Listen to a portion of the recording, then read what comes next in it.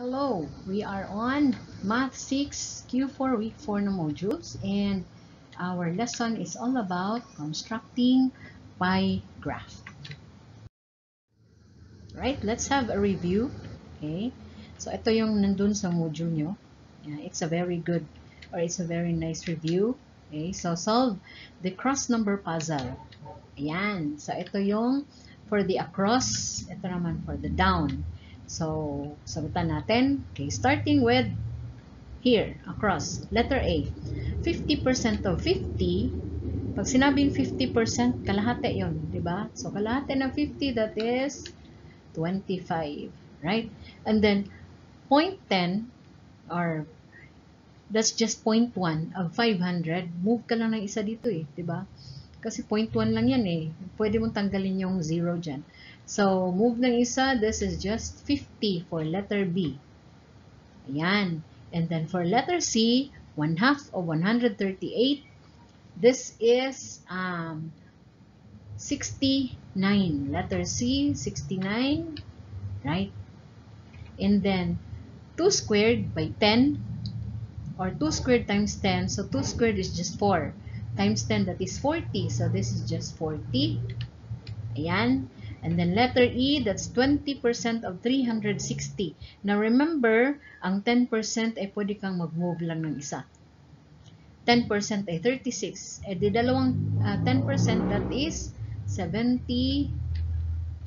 Yan. And then 12 times, uh, 2 times 12 is 24. Plus 8, that is 32. So for F, that would be 32. And then G, one complete revolution is 360 degrees. Ba? Yan. So, G, that's 360 degrees. And then, for down, you have 25% of 40. 25% is just 1 fourth. And 1 fourth ng, 4, ang, ng 80 is, so 25% of 80 pala, that is 20 lang. So, dinagdagan lang natin ng 0, pababa. And then, letter B ngayon, pababa, okay? 0.15 times 360. That is 54. And then letter C, may sagot na tayo. Oh. 3 fourths of 80, that is 60 nga. And then letter D, ayan din, pababa. 7 squared, that is 7 times 7, and that is 49, di ba? And then letter E, uh, where's letter E? Ayan, may sagot na rin tayo. Okay, so letter E actually is 4 cube plus 6 And this is 4 cube is 64 plus 6, that is 70. And then for letter F, ayan, may sagot na rin tayo. That is 2 times 12 is 24 plus 12, that is 36, diba? And then ito na lang ang wala pa tayong sagot. 12% of 1,000. Ang 10% ng 1,000 is 100. And then yung 1% is 10, diba? So dalawang 10, that's 20. Dagdag yung 100, that is 120. So, 1 na lang ang kulang natin dyan. Okay? Alright, so pie graph. Ano ba talaga ang isang pie graph? Okay, so we have an example here of a pie graph and circle graphs. So it could be called circle graph. Circle graphs or pie graphs show the relationships of the parts of the whole.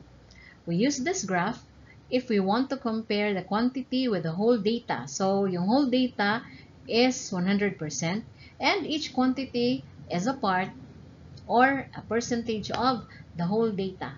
The pie graph in particular is a type of graph that is useful in analyzing pulse and money or resources allocation. Kaya siya ginagamit kasi isang tingin mo pa lang kasi makikita mo na asan yung mas pinakamalaki at asan yung pinakamaliit.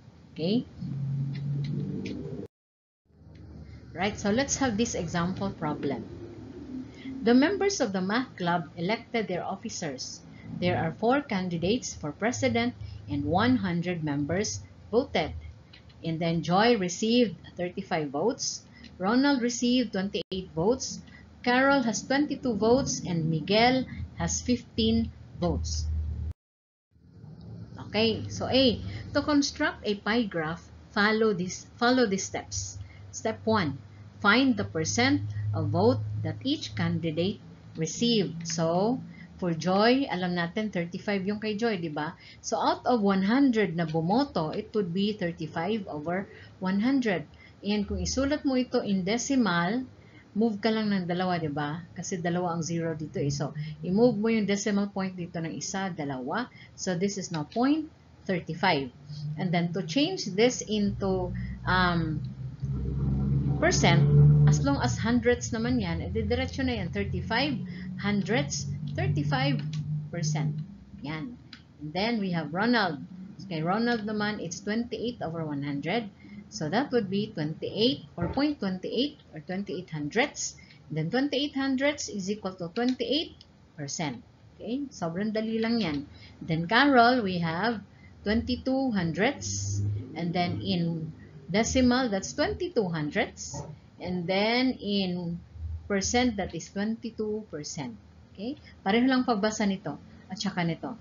22 hundredths, 22 hundredths, and then, since nasa hundredths, hundredths, percent is per hundred, didiretso ka na, 22%.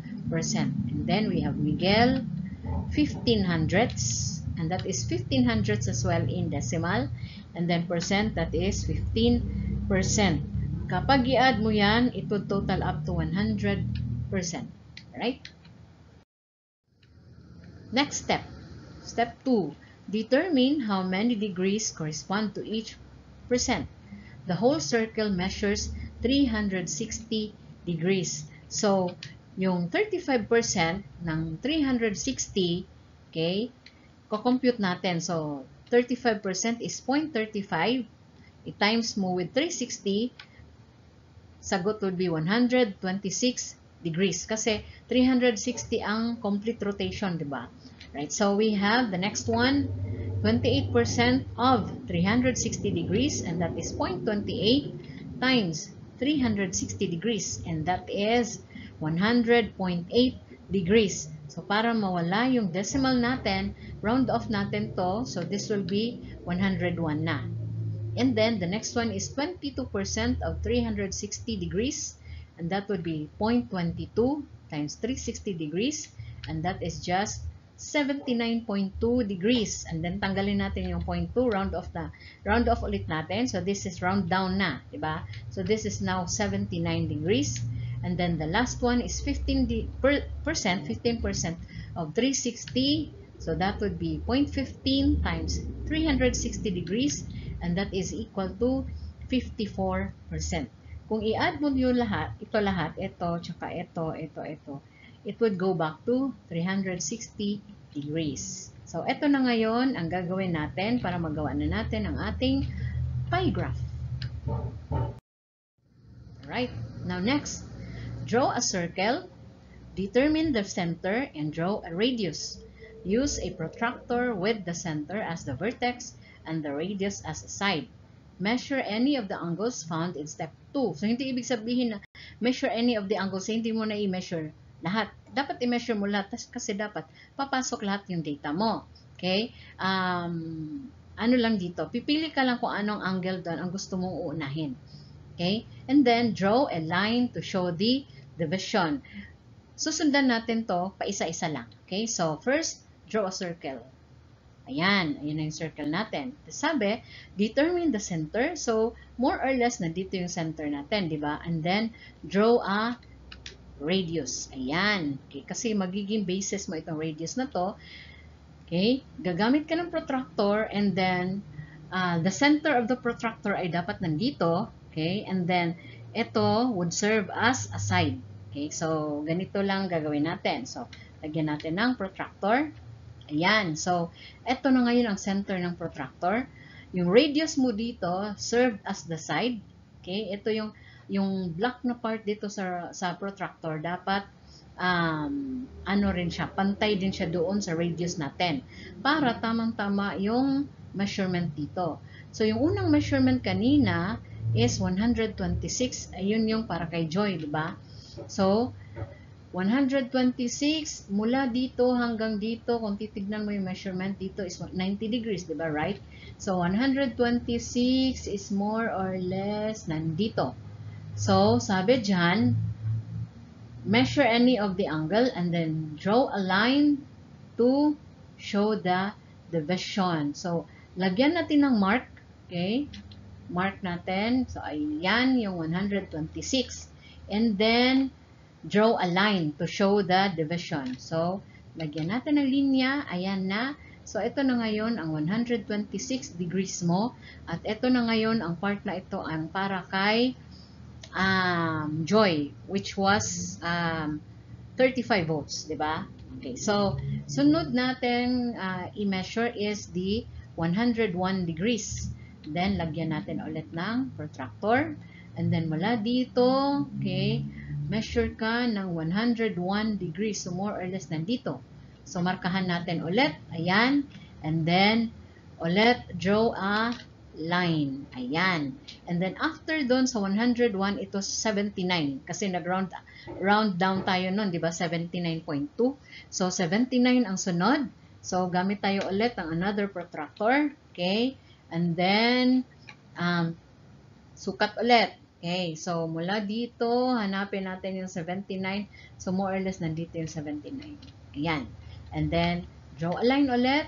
Ayan. So, kumpleto na ngayon. So, ito na ngayon yung last, which was 54 degrees. Now, uh, it need not be um, exactly or perfect na nagawa mo. Basta lang, maipakita mo ng maayos asan yung pinakamalaki, asan yung pinakamaliit.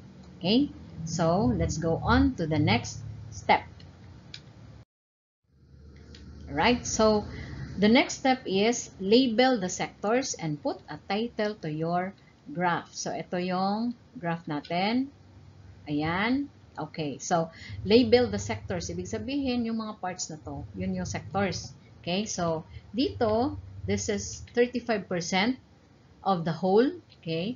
And, ito yung para kay Joy. Okay. And then, ito is 28%. Ito yung para kay Ronald.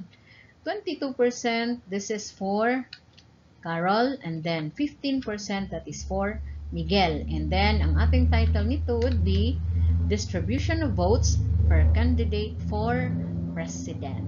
So, kung meron ka ng ganito, kompleto na, pwede ka na sumagot ng mga tanong, di ba? Right, so letter B, answer the following questions based on the graph. So, ito yung graph natin. Okay? Then, number one, who earned the highest percentage of vote for president? So, isang tingin mo pa lang dito, kita mo na na ito yung pinakamalaki.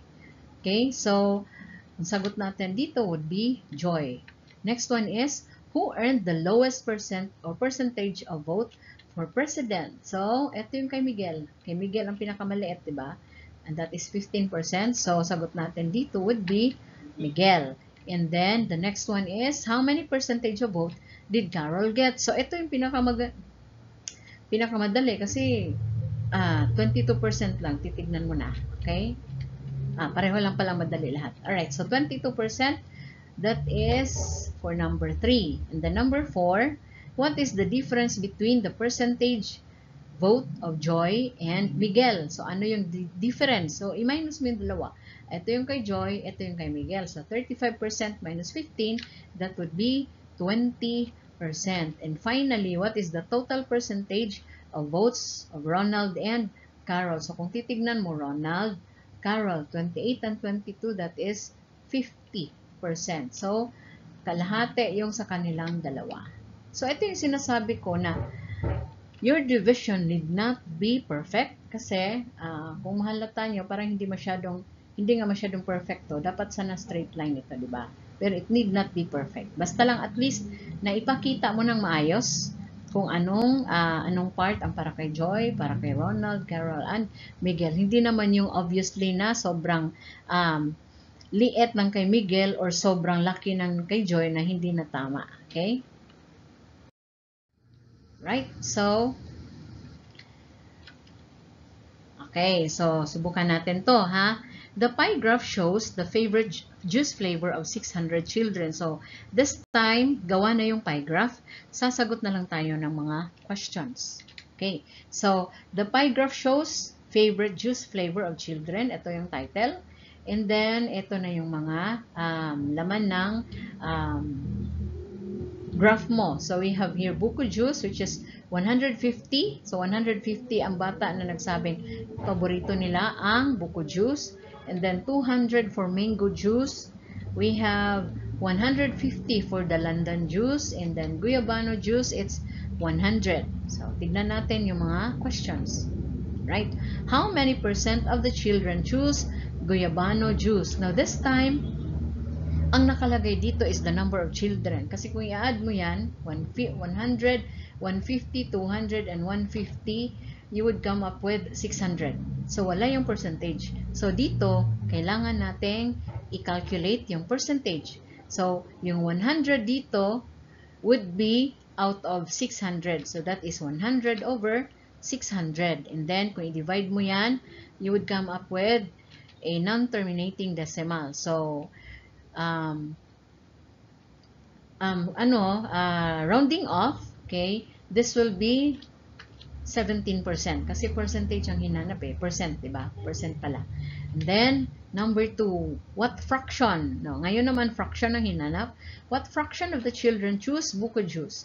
So, buko, that is uh, 150 for buko juice. And then, out of 600. So, 150 out of 600. And then, reducing to lowest term, pwedeng i-divide ang 600 by 150.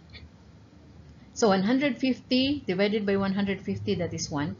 600 is divided by 150 is 4. So, ang sagot natin is 1-4. So, ito na yung pinaka-sagot mo. 1-4 ang fraction of the children who choose buko juice. And then, number 3, How many children choose the London juice? So, dito, ito yung pinakamadali. Kasi dito, nag-calculate kayo. Dito, titignan mo lang how many.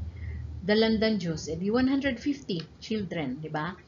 And then 4, what percentage of the children choose mango juice? Again, percentage na naman ang hinanap. So, kuhanin natin ang mango juice, that is 200 over 600. So, that would be, ayan. And then, um, computing, you would come up with 0.333. This is actually one-third. So, lalabas ito na um, non-terminating decimal. So, one-third is just equal to 0.333 and then that would just be 33%. And then number 5, find the ratio of the number of children who choose mango juice to the number of children who choose buko juice. So, ang gagawin natin dito is ratio. And a ratio can be written in fraction and column form, di ba? So, kung fraction, start tayo with the number of children who choose mango juice. So, that would be 200 over the number of children who choose buko juice, that is 150. So, that would be 200 over 150 or Basahin mo yan in ratio as 200 is to 150.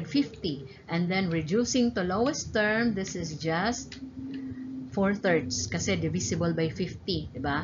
Ito, apat na 50, ito, tatlong 50. So, 4 thirds. So, ito na ngayon ang ratio of the number of children who choose mango juice to the number of children who choose buko juice. Ibig sabihin lang nun, bawat apat na bata na gusto ang mango juice, may tatlong bata na ang gusto ay buko juice. Okay? And then, since ang ratio can be written in column form, pwedeng ganito rin ang sagot mo. So, 200 is to 150 or reduce to lowest term, that would be 4 is to 3. Alright? Okay, so remember, to construct a pie graph, follow these steps. Okay, first, Step 1. Find percent of the whole amount in each part of the data. Step 2. Determine how many degrees correspond to each percent. The whole circle measures 360 degrees. Kaya kuhanin mo ang uh, degrees ng uh, that correspond, how many degrees that correspond to each percent. Kaya nga, um, kinakalculate natin kanina o sinusolve natin kanina yung percent para makuha din natin yung degrees. Okay? And then, step 3, draw a circle and then determine the center and draw a radius. Kasi yung radius na yon would use as your uh, side, di ba? So, use a protractor with the center as the vertex and then the radius as a side. Measure any of the angles found in step 2 then draw a line to show the division. Okay, so lahat ng um, representation dapat, okay, lahat ng angles dapat doon gagawin mo. You, you may start with any of the angles. And then lastly, you would have to label the sectors and put a title to your graph.